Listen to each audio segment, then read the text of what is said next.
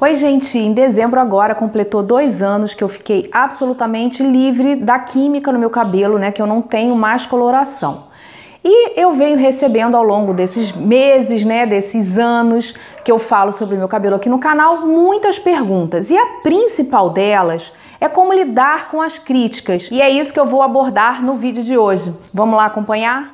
Tomar a decisão de assumir os cabelos grisalhos é uma decisão muito importante, é uma decisão que mexe muito com as nossas dúvidas, a gente fica inseguro, porque afinal de contas a gente ouviu a vida inteira que deixa a gente com a cara mais envelhecida, que deixa com cara de relaxado, enfim, são inúmeras críticas, são inúmeros adjetivos negativos associados a essa decisão. E é natural que a gente fique em dúvida, que a gente tenha insegurança. Eu também já passei por isso.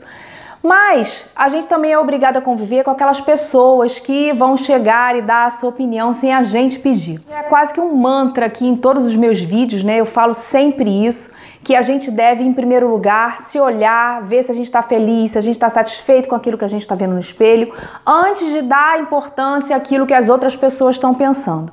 Mas eu também sei que não é nada fácil, que algumas pessoas têm um pouco mais de segurança e outras não. Algumas ficam realmente preocupadas com a opinião da, das outras pessoas. Principalmente quando é uma coisa que a gente está querendo muito e vem uma pessoa e joga um balde de água fria e desmorona toda aquela ideia que a gente tinha, né? Toda aquela empolgação que a gente estava pensando. Antes de tudo, a gente tem que estar tá certo que a gente realmente está disposto a enfrentar os olhares críticos, porque as pessoas vão olhar para a gente sim com uma cara diferente. Afinal de contas, o processo da transição não é nada fácil, a gente fica com várias cores de cabelo.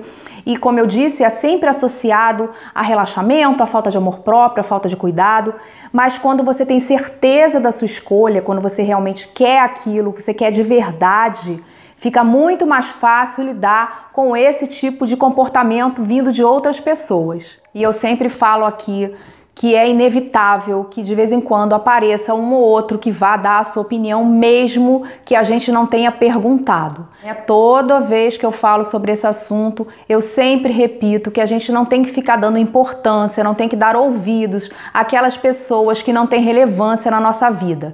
Né? É claro que quando a gente toma uma decisão, a gente sempre vai perguntar uma opinião àquela pessoa que a gente tem mais intimidade, que a gente confia no gosto daquela pessoa, que a gente respeita, que a gente sabe que ela nos respeita também. Mas tem pessoas que realmente estão ali só para nos magoar, elas querem apenas atingir com a sua opinião, elas não estão preocupadas realmente com, no, com a nossa escolha, elas não estão preocupadas com a nossa aparência, elas querem simplesmente expor o que elas pensam de forma grosseira, muitas vezes de forma ofensiva.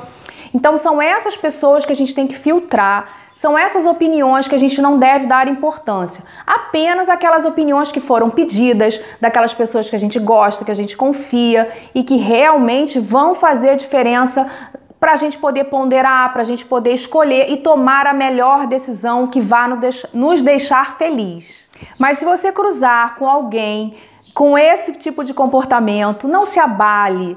Não bata a boca, não discuta. Afinal de contas, aquela opinião não tem importância para você. Porque, claro, às vezes a gente vai ficar irritado mesmo, mas no meu caso eu ficava muito irritada. Não era só porque a pessoa estava dizendo que meu cabelo estava feio ou porque antigamente era mais bonito.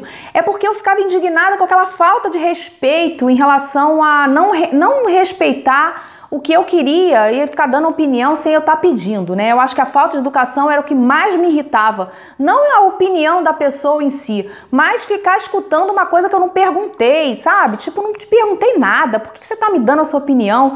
Então, são pessoas que não têm relevância na nossa vida, logo o que elas pensam não faz a menor diferença. Deixa elas falarem, não discuta, não te, que tente explicar, porque quanto mais você explica, mais aquela pessoa vai tentar te convencer de que o que ela pensa está certo. E se você não acha que está certo, não vale nem a pena ficar ali discutindo esse assunto.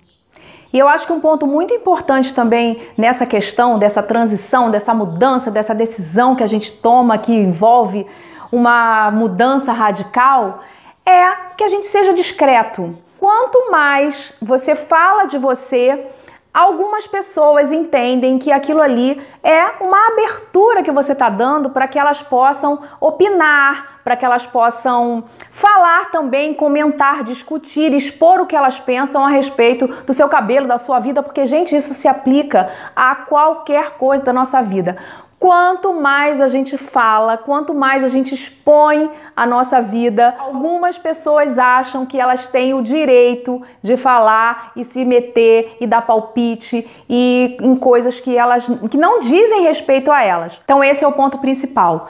Sejam discretos, não comentem a vida de vocês para pessoas que não têm importância, mesmo aquelas que, independente do seu comportamento, vão chegar até vocês para dar opinião que não foram solicitadas, para criticar, para falar, para fazer comparações, porque isso também é muito comum, né? Uma pessoa fazendo comparações associando a coisas negativas. Não deem importância, deem importância apenas a pessoas, a opiniões que tenham relevância, que sejam importantes para vocês. E por fim, gente, um cabelo natural, um cabelo grisalho, um cabelo sem química, não faz dos outros cabelos coloridos, sejam loiro, seja castanho, não faz com que eles sejam feios. Uma coisa não tem nada a ver com a outra.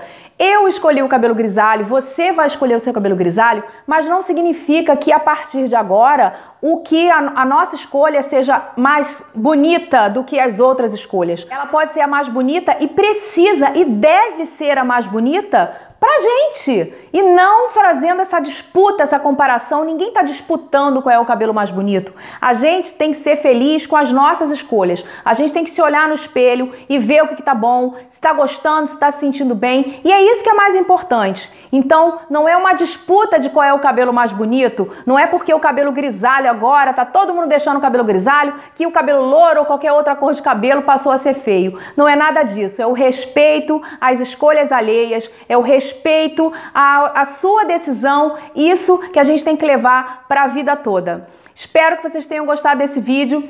Um grande beijo a todos e até a próxima. Tchau, tchau!